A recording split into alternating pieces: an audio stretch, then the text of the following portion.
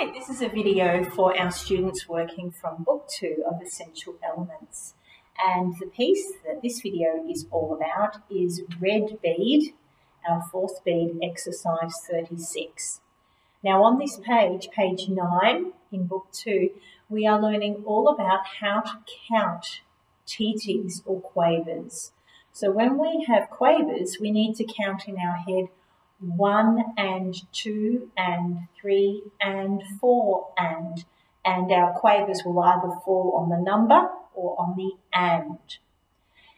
Really important that you work through all the pieces on this page because they've done something really tricky. They've given us quaver rests as well. So that counting becomes so important. We've got half beat rests they're almost just like this tiny little pause of silence, very short amount of silence. And then we need to come in again sometimes on that half beat or that and beat.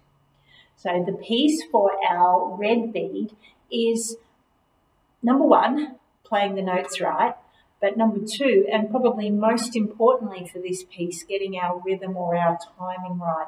And the only way we can do that is by counting one and two and three and four and sometimes we even write it in on the music so we know where the note needs to come, whether it's on a number or on the and.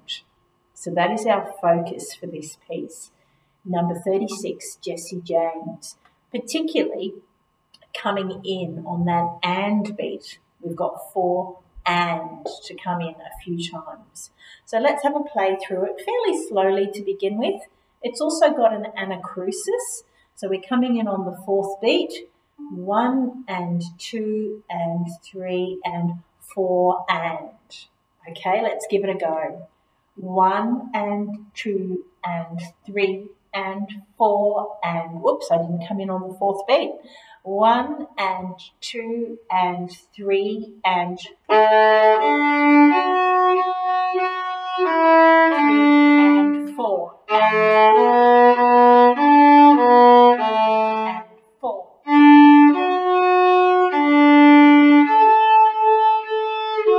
One and two and three and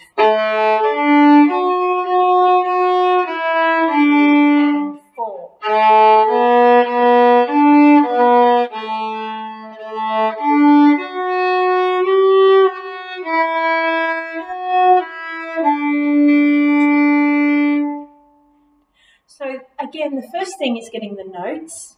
Second thing is getting the rhythm. Third thing is adding in things like slurs and dynamics. So think about where you're at. Are you just working on the notes? Are you now good with the notes and working on getting that timing right and counting in your head?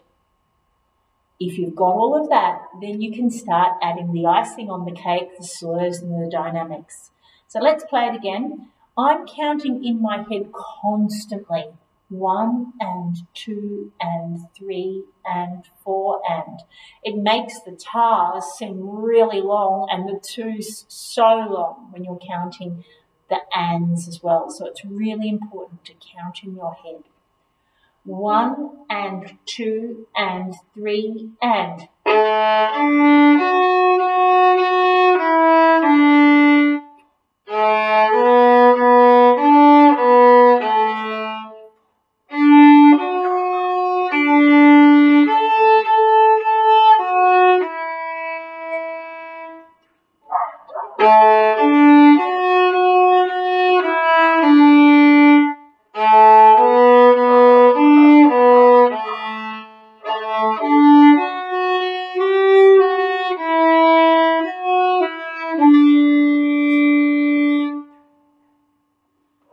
So that piece is your red bead.